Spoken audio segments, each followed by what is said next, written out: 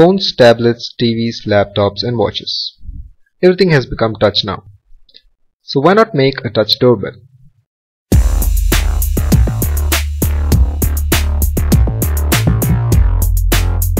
Let's start by designing the circuit first.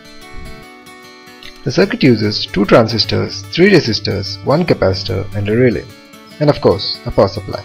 Here the first transistor is used for preamplifying and the second transistor is used for operating the relay.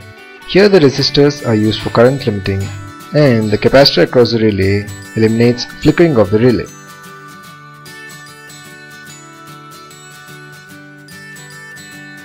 Now let's start connecting the circuit on a breadboard.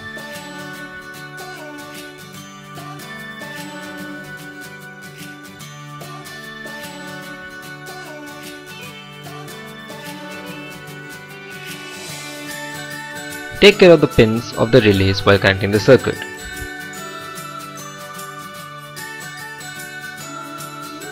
I have set the power supply voltage to 12 volts as I am using a 12 volts relay here. After the circuit is finished, switch on the power supply and slightly touch the other end of the 330 ohm resistor and you'll hear a clicking sound of the relay, like this.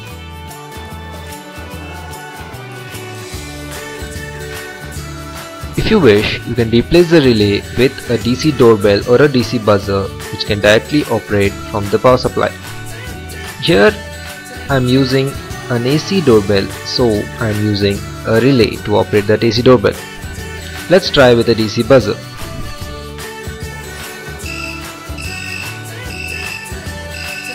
As you can see this also works fine.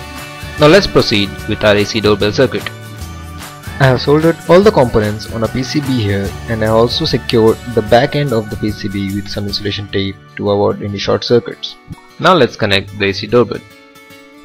Here I am using this small buzzer kind of an AC doorbell. Along with this, we'll also need some AC wire and a 2-pin plug. First, let's connect this 2-pin plug to one end of this AC wire. And from the other end of the wire, we connect one wire directly to the buzzer, like this. And we secure the joint with some insulation tape. The other end of the buzzer is connected to the one end of the relay. And the other end of the relay is connected to the other AC wire. After connecting, secure all joints with some insulation tape. Now the circuit is complete. I'll switch on the power supply and the buzzer and touch the end of the wire.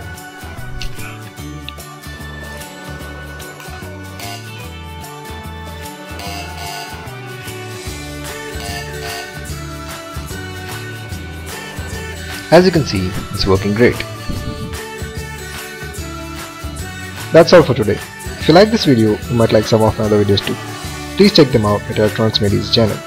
Till then, I'll see you in my next video.